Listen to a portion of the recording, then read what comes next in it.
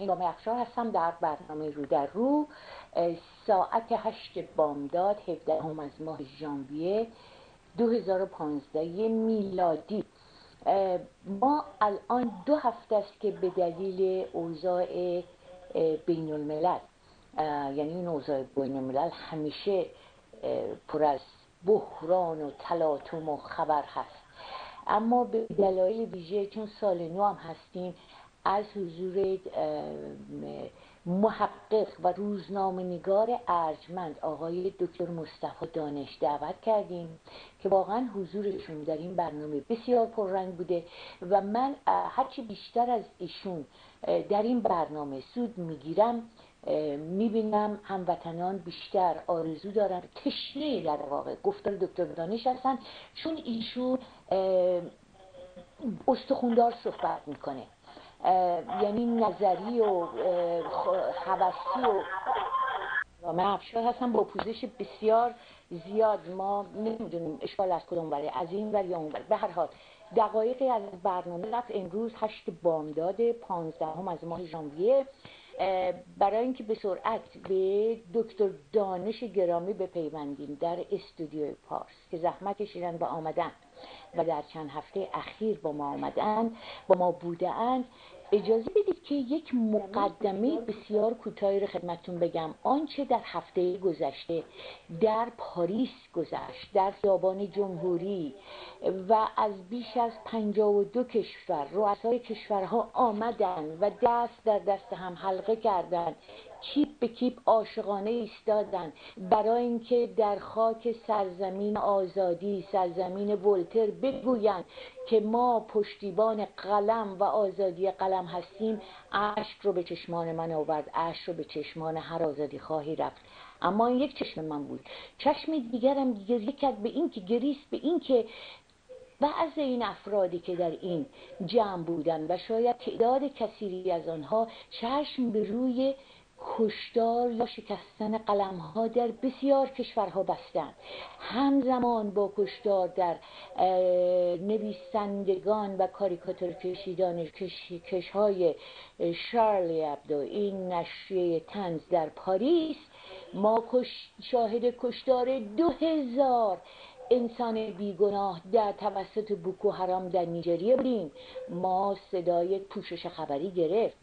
ما در خاور میانه می‌بینیم هر روز آزادی خواهان چگونه به دار کشیده میشن. مقابل جوغه اعدام میستن سر بریده می‌شوند شکنجه می‌شوند.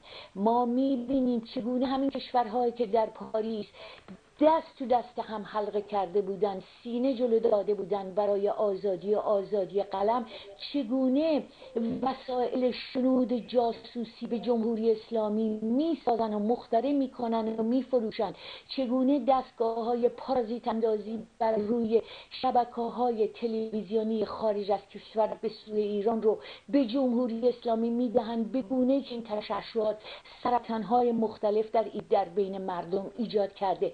ما این بانیان پشتیبانی از عوامل شکنجه و دیکتاتورهای منطقه رو هفته گذشته در پاریس در سرزمین آزادی برای آزادی قلم دیدیم که فریاد می‌زدن و بازو در بازوی هم در ایستاده بودن تا به جهانیان نشان بدهند که ما حامی آزادی قلم هستیم. در بین اینها حتی کسانی بودند که کاریکاتوریست های کشور خودشون رو به زندان انداختن. بودند در اون که کشوری رو به قل زنجیر بستند و زندانیش کردند به هر حال این و در این کشورها به ویژه فرانسه و اتریش و آلمان بیش از شست بیش از شخص آزادی خواه که من اینها رو از کتاب آقای دکتر آقای موس ببخشید مزفر رزاقی بیرون کشیدم. بعد از جمهوری اسلامی در همین کشورهایی که امروز رؤسای جمهوریشون ایستادن در خیابان جمهوری و فریاد می‌زنن. اتحاد متحدن در کنار هم. کشته شدن توسط عوامل جمهوری اسلامی و توسط پلیس و سازمان امنیتی. همین کشورها فرار قراری داده شدن و پیگیری نشد. یعنی آزادی بیان خوب است برای فرانسه. برای خود آلمان. قشقرق به پا خواهد شد. اگر این آزادی و آزادی بیان فقط در بعضی از کشورهاست. خب دکتر مصطفی دانش گرامی عزیزم من با این مقدمه می‌خوام این میدگوی و این میدان مجددا در دست شما بفرمایید آیا خون انسان ها رنگ نژاد نام ملیت فرق داره؟ اگر آزادی آزادی چرا اینقدر ما تفاوت می‌بینیم؟ چرا اینقدر تضاد می‌بینیم در سیستم های جهان؟ بفرمایید. ببینید خانم شما مطالبی رو مطرح کردید بسیار با اهمیته من برای اینکه سوء تفاهم نشه یه بار دیگه میگم آن چیزی که در پاریس اتفاق افتاد و جنایاتی که بر علیه روزنامه‌نگاران شد هیچ گونه قابل توجیه نیست. یعنی جنایت عظیمی بر علیه آزادی مطبوعات و آزادی بیان انجام شد و باید به اون اشاره بکنیم. ولی من به یک مطلب خانم افشار اگه ویژه اشاره بکنم. ببینید همین کشور آزادی برابری و مساوات. یعنی در واقع کشوری که از آرمانهای انقلاب بزرگ فرانسه صحبت می‌کنه انقلاب کبیر فرانسه صحبت می‌کنه در سال 1961 اتفاقی در پاریس میافته که تا دو سال پیش دولت فرانسه و رؤسای جمهور فرانسه از اون صحبتی نمی‌کردن. در 17 اکتبر 1961 تظاهراتی در پاریس انجام میشه که بیش از ده هزار نفر از مردم الجزایر این تظاهرات انجام میدن بر علیه کلونیالیسم فرانسه در الجزایر. در اون 17 اکتبر 1961 پلیس فرانسه حمله می‌کنه و به منابع مختلف در حدود دویست تا هزار نفر در یک روز کشته میشن توسط پلیس فرانسه. یعنی کسانی که صلح آمیز در پاریس به خیابان ها آمده بودند عده زیادی از اونها با تیراندازی کشته میشن. عده زیادی رو پلیس فرانسه به داخل رودخانه سن میندازه و گفته میشه در حدود دویست تا هزار نفر کشته شدن و عده زیادی تا به امروز مفقودن.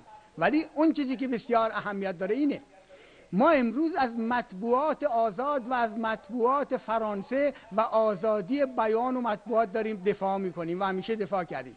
ولی جالبه در آن زمان در سال 1961 دولت فرانسه به مطبوعات دستور میده که هیچ گونه مقاله و گزارشی در این مورد فجایع و جنایتی که در 17 اکتبر 1961 شده اینا رو منتشر نکنند.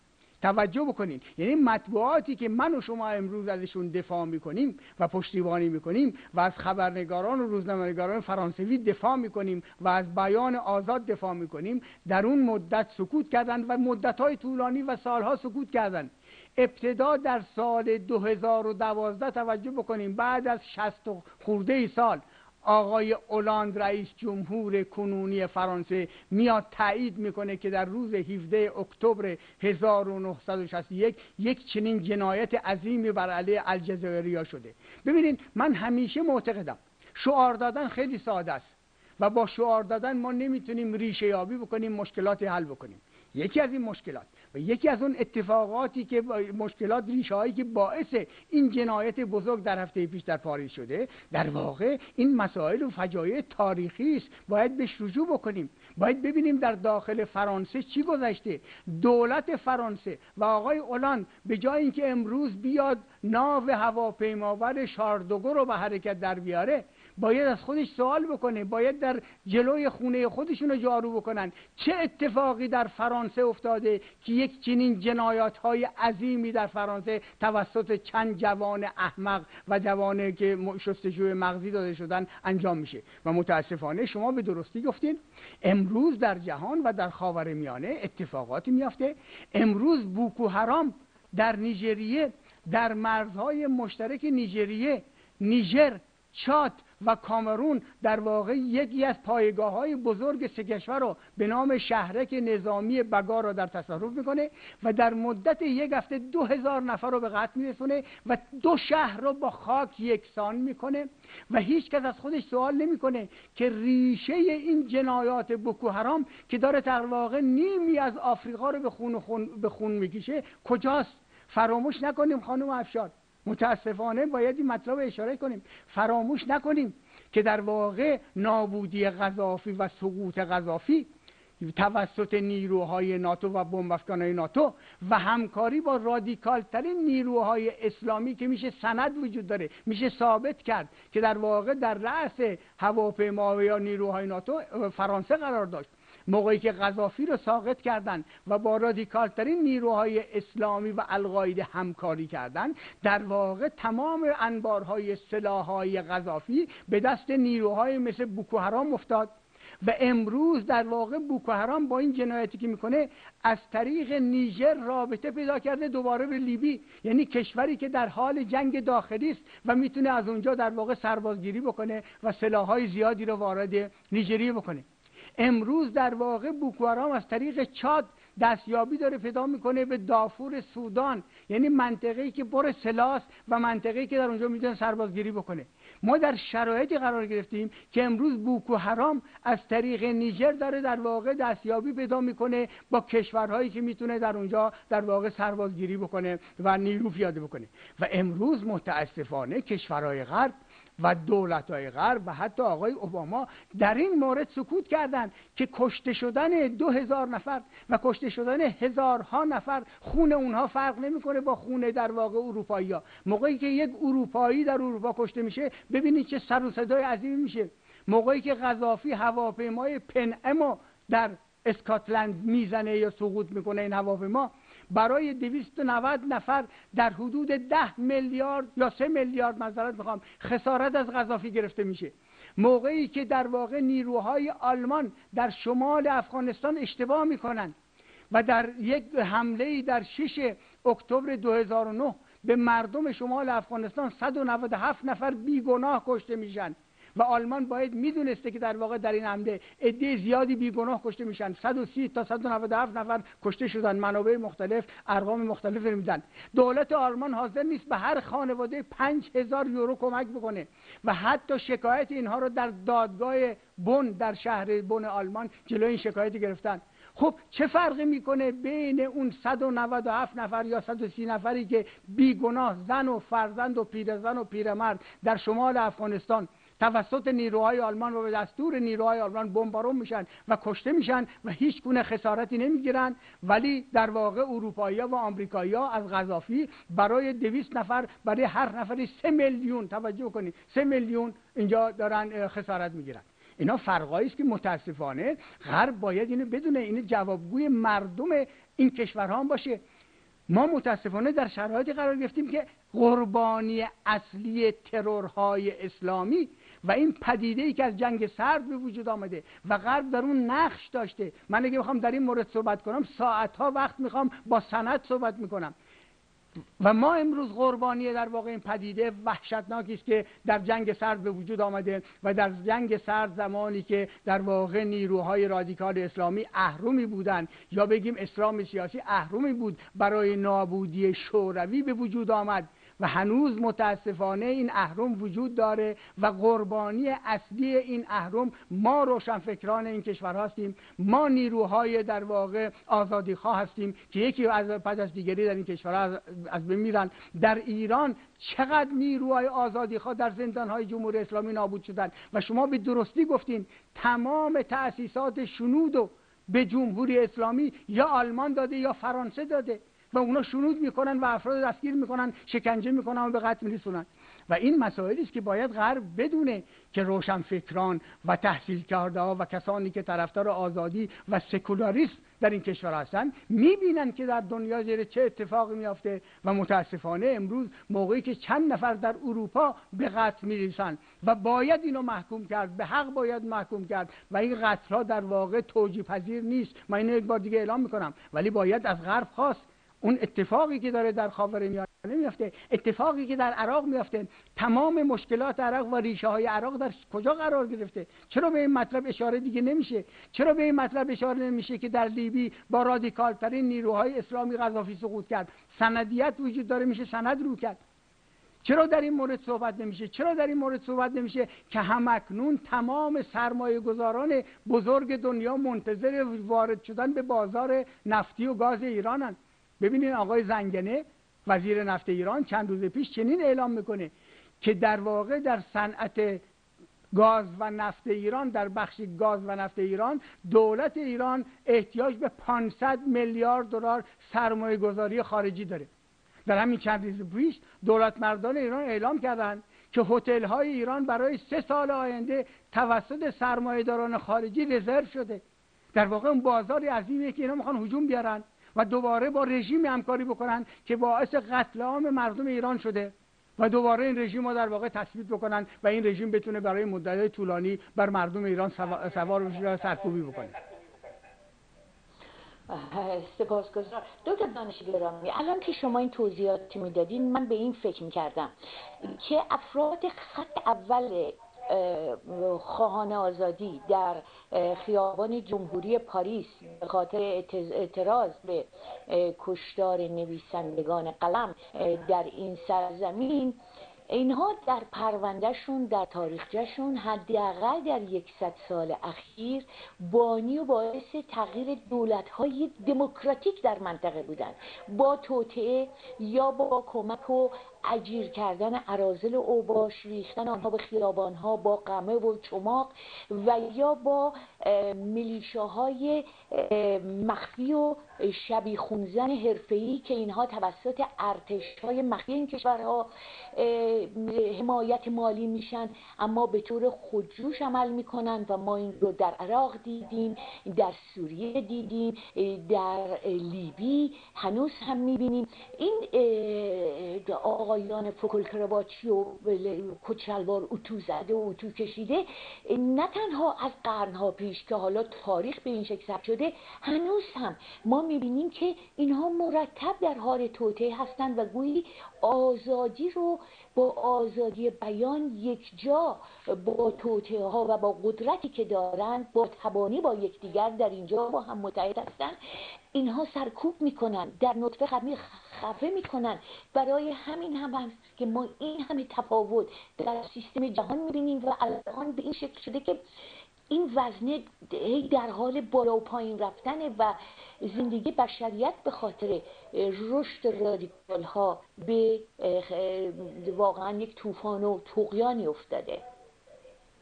ببینید شما مطالبی رو مطرح می‌کنید که واقعا احتیاج به ساعت ها وقت داره.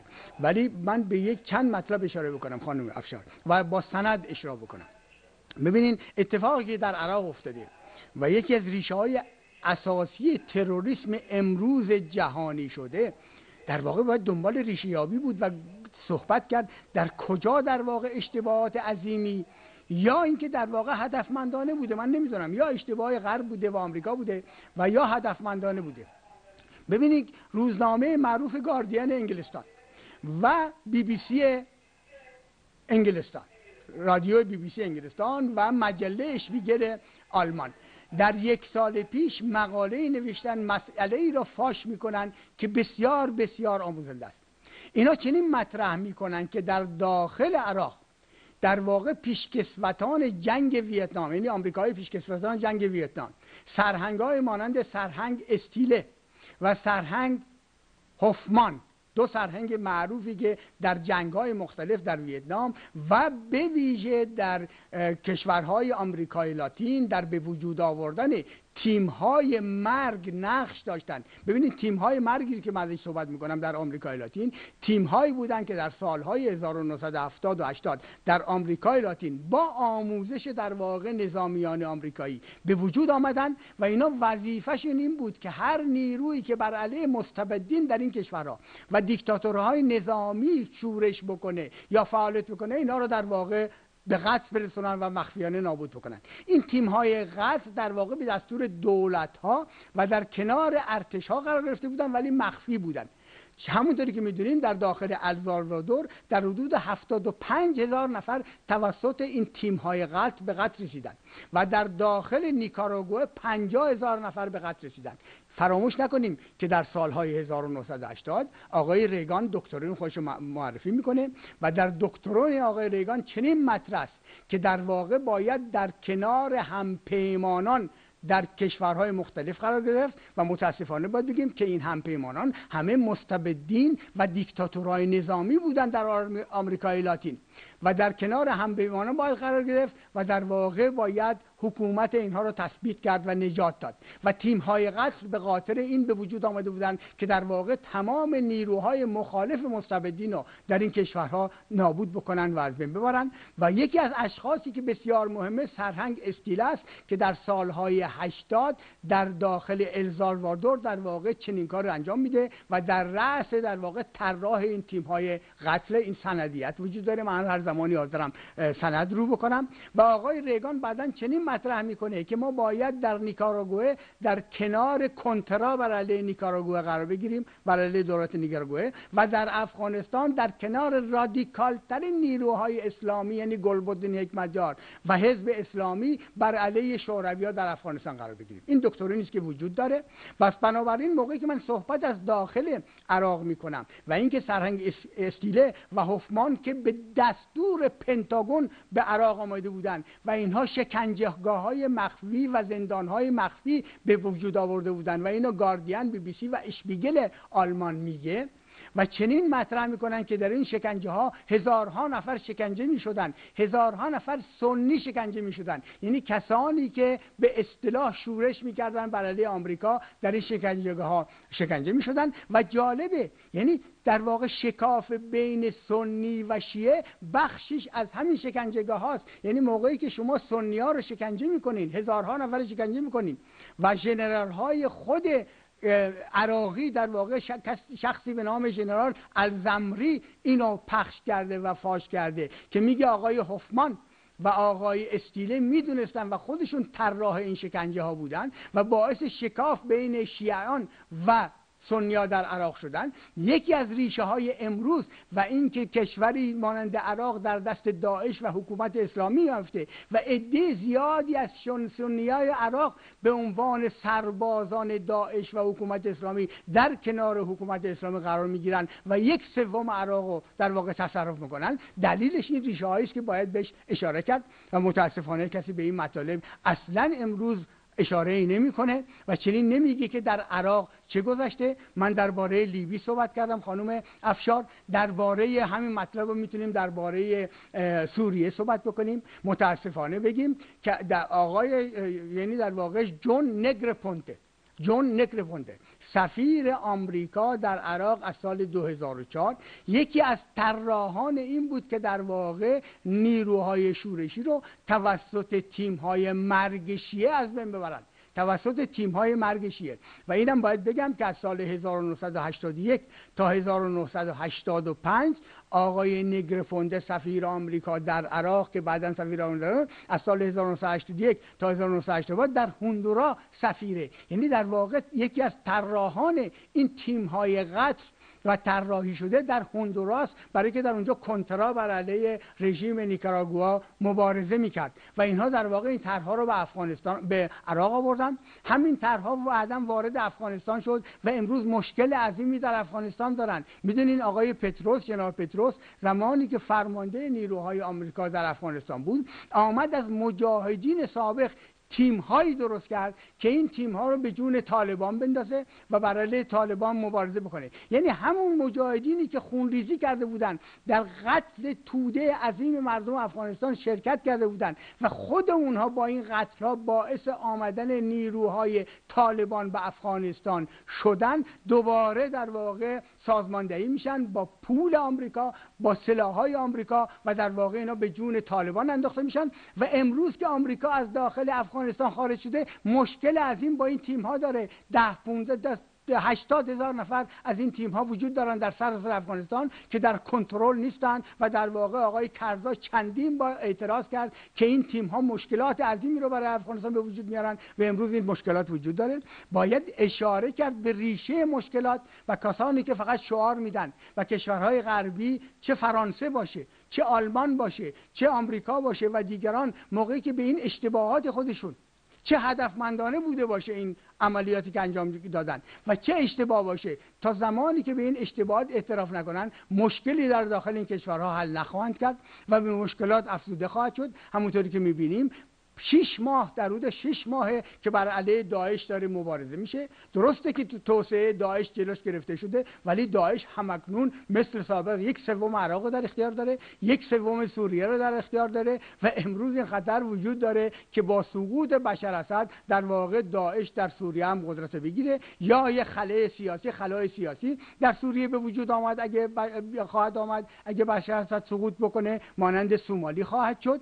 یا اینکه در واقع نیروهای رادیکال اسلامی قدرت در اونجا خواهند گرفت و به خاطر همین آقای اوباما می‌دونه و تا زمانی که داعش و حکومت اسلامی نابود نشه من بهتون قول میدم و این تز منو بیاتون باشه شش ماه یا یک سال آینده دوبارهش در بارش صحبت بکنیم. تا زمانی که داعش و حکومت اسلامی نابود نشه آقای اوباما و رئیس دولت آمریکا و در واقع سیستم حکومتی آمریکا خواهان این نیستن که بشر اسد جنایتکار در داخل سوریه از بین بره. این شرایطی است که ما باش روبرو هستیم و در این شرایط باید من یک بار دیگه اشاره بکنم که غرب در واقع مسئولیت عظیمی را داشته اشتباهات عظیمی را کرده تا جایی که امروز طالبان در افغانستان روز به روز تقویت میشن و جالبتر از اون اینکه آقای اوباما و کاخ سفید چنین مطرح کرده که از روز دوم ژانویه 2500 دیگه طالبان دشمن آمریکا نیستند تا زمانی که طالبان به مواضع آمریکا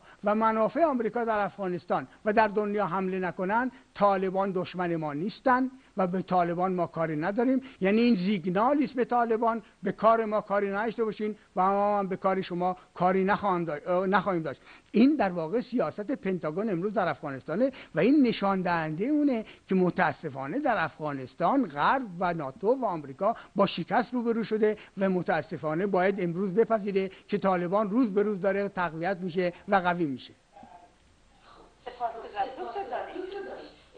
این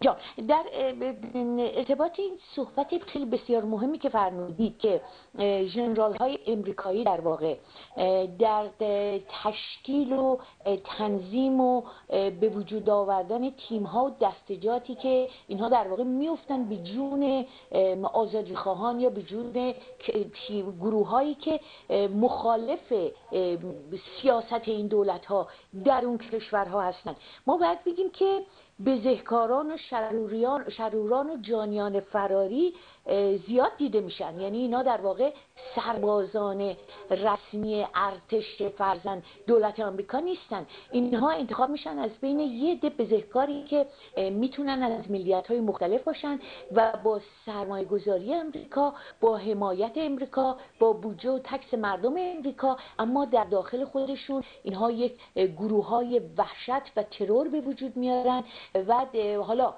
یه چیزی شبیه ولایت فقیه خودمون منتها با تفاوت در این هستش که اینها این کشتارها رو در خارج از خطوط جغرافیایی خودشون به وجود میارن. ولایت فقیه در هر دو هم برای مردمان خودش و هم اگر دستش برسه خارج از کشور. این رو توضیح بفرمایید در مورد این افرادی که تشکیل دهنده این دستجات و گروه های در واقع های مخفی شبیه خونزن هستند. حالا من نمی‌دونم واژه های دیگه هم شاید بفرمایید. هستند شرکت های مزدوری هستند که امروز در جنگ ها شرکت می‌کنند و متاسفانه آقای رامسفلد رئیس وزیر دفاع آمریکا در سابق در جنگ های مانند عراق و افغانستان در واقع پای مزدوران رو به عراق و افغانستان باز کرد. می‌دونی شرکت مزدوران در واقع مزدوران فقط به خاطر پول این کار می‌کنن.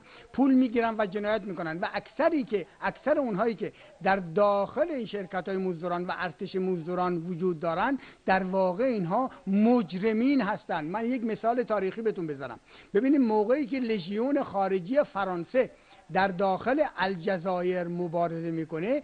بعد از جنگ جهانی دوم عده زیادی از لژیون خارجی فرانسه که در رابطه با مبارزین مردم الجزایر و قلقم کردن اونها مبارزه می‌کنه آلمانی های اس اس هستند یعنی در واقع از ارتش آلمان از ارتش هیتلری و اس اس های آلمان هستند که در واقع مردم رو سرکوب می‌کردن و همینا کسانی بودند که باعث کشته شدن 6 میلیون یهودی در اروپا و در آلمان شدند اینها بعدا تعداد زیادی اینها در لژیون فرانسه نقش بازی کردن و همین لژیون فرانسه در الجزایر در واقع کشتار وحشتناکی کرد. در سال 1961 همین لژیون فرانسه در سال 1840 در حدود 15 تا 30 درصد مردم الجزایر رو به قتل رسون نابود کرد. و امروز ما در واقع این مزدوران رو در واقع در با شکل Blackwater که بعدا نامش عوض کرد Xe گذاشت. و بعدا امروز اسمش آکادمیه در واقع در عراق می‌بینیم.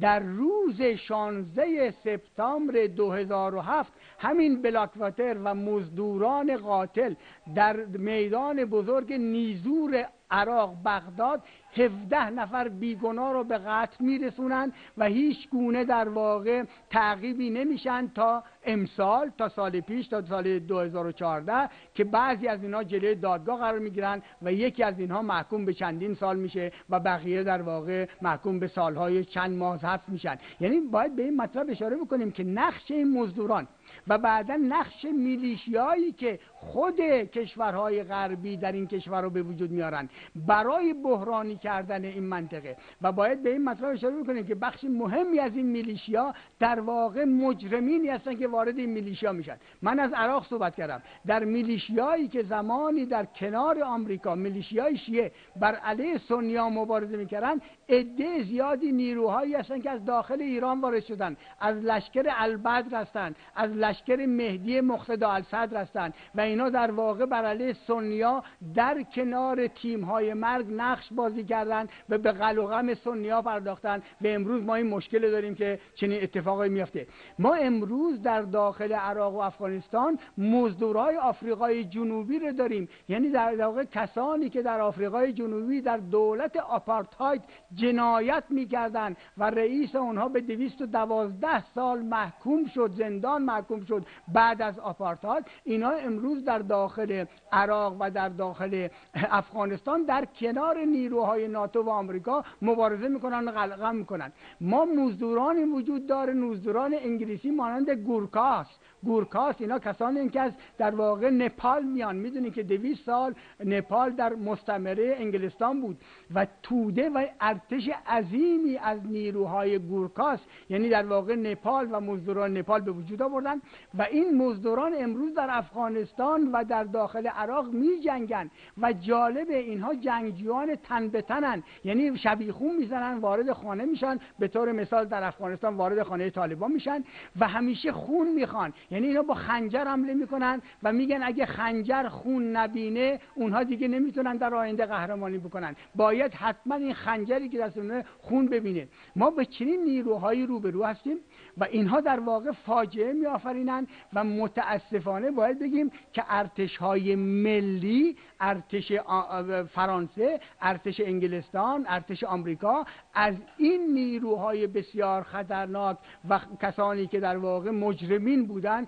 استفاده می‌کنه در جنگ ها و متاسفانه آقای رامسفلد وزیر دفاع آمریکا در سابق از این نیروها به ویژه بلاکفاتر که چنین فاجعه رو در عراق ساختن به عنوان نیروی جنگی در عراق استفاده کرده در افغانستان استفاده شده و همکنون استفاده میشه و اینها در واقع باعث این میشن که شورش های مردمی تشدید بشن شکاف در جامعه بیشتر باشه. هرچه اینها بیشتر جنایت بکنن شکاف در این جوامع بیشتر خواهد شد و متاسفانه اینها به اونجای خواهد رسید این ریشا که عده زیادی جوانان که شستشوی مغزی شدن به طرف اسلامیان بسیار رادیکال برن و چنین فاجعه ای را به آفرینن مانند پاریس و بیش از دو هزار نفر جوانان فرانسوی به داخل عراق و سوریه برن و در کنار حکومت اسلامی و داعش قرار بگیرن.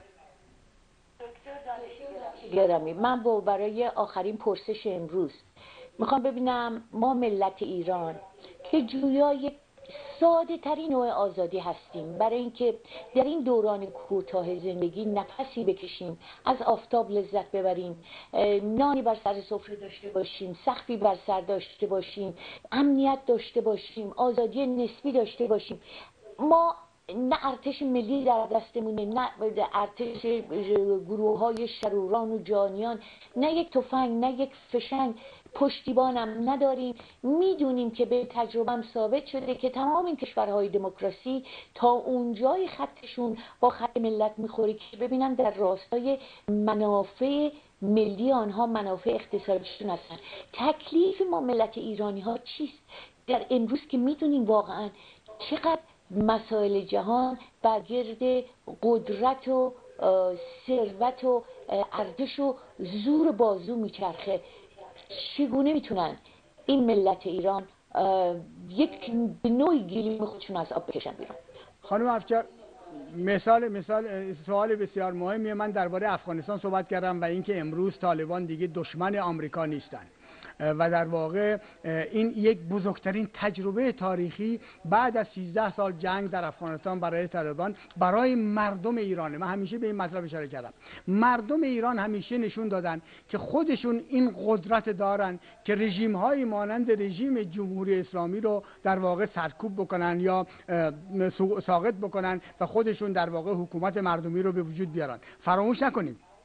اگه در روز شنبه بعد از کودتای 1388 زمانی که سه میلیون مردم ایران به خیابان ها آمدن به طور صلح آمیز به خیابان آمدن و سکوت کردند اگه در اون مخده مهم زمانی یک رهبری مجرب انقلابی در رأس این توده سه میلیونی بود زمانی که تمام نیروهای امنیتی غافلگیر شدند سپاه پاسداران وحشت کرده بسیج وحشت کرده ارتش وارد میدان نمیشه و سه میلیون جمعیت وارد خیابانهای تهران شدند و تسلط مستقل مستقیم در خیابانهای تهران دارند اگه در واقع شعار درست در روز و در اون مقطع زمانی درست داده می‌شد همون روز من معتقدم شکی ندارم که رژیم جمهوری اسلامی ساقط شده بود. ولی متاسفانه باید بگیم که رهبری که در اونجا در اون روز وجود داشت رهبری سبز خواهان موجودیت و حفظ موجودیت جمهوری اسلامی بود و این مشکلاتی است که بعد از اون به وجود آمد.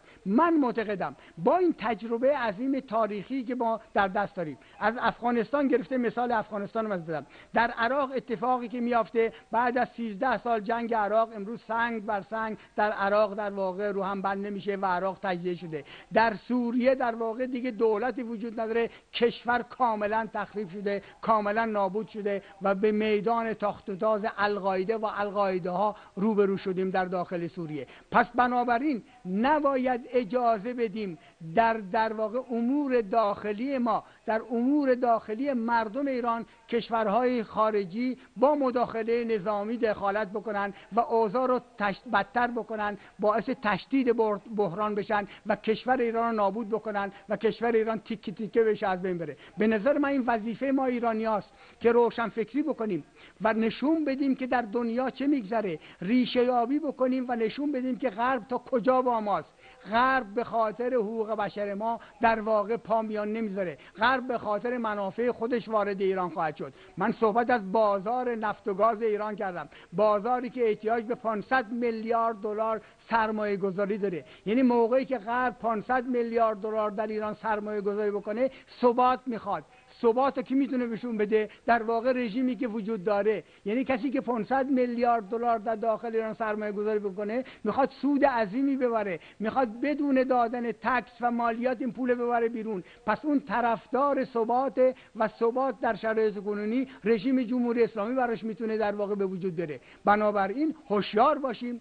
اشتباه نکنیم و بدونیم در دنیا و منطقه چه میگذره و در واقع اجازه ندیم که مداخله نظامی و مداخله خارجی بشه و هر جایی که مداخله خارجی بوده مثال های مشخص تاریخی نشون میده که در واقع اوضاع تشدید شده و کشورها از بین رفتن و تجزیه شدن.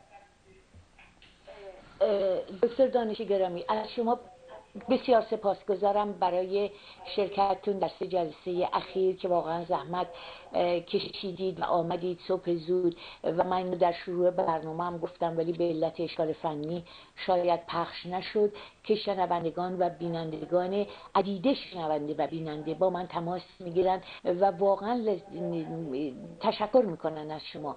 سپاس دارم که اینقدر اطلاعات ریشه‌ای در اختیار آنها می‌گذارید و دوستتون دارد. این پیغامی است من از طرف آنها برای شما دارم.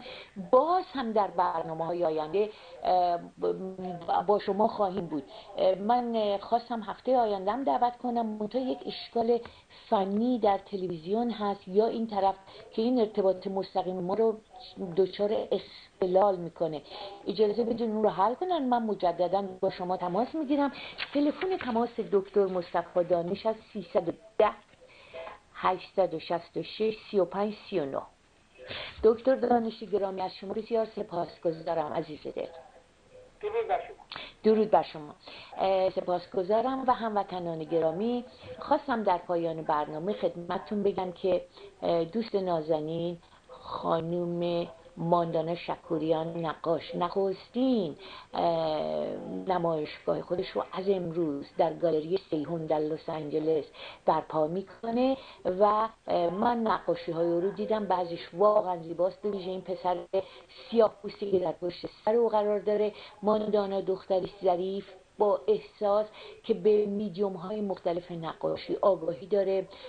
شاگرد فرشچیان و شاگرد آقداشلو بوده و به هر حال این نخستین نمایشگاه متاسفانه بنده در تگزاس هستم. نتونستم علا رقم دعوتیشون در اونجا باشم تاسف می‌خورم ولی خب من نمایشگاه شخصیشون رو دیدم در منزل خودشون. و امیدوارم که هموطنان حمایت کنن فقط برای ات یک اطلاعیه هست راجع به گالری سیهون که ایشون به مدت یک هفته در اونجا خواهند بود. من با شما بدرود میگم. از امیر شهرتی گرامی بسیار سپاسگزارم می‌دونم اونم در اتاق فرمان گاه اشکالاتی هست که بهترین سعی خودشون می‌کنه ولی خب به وجود میاد دیگه. با شما بدرود میگم. امیر جان سپاس دارم. از شما خواهش می‌کنم. اطلاعیه خانم ماندانا شکوریان همسر گرامی دکتر فرهاد نصر. شیمه رو پخش کنید. امیدوارم دوستان استقبال کنن و تا برنامه دیگر بدرود خدا نگهدار.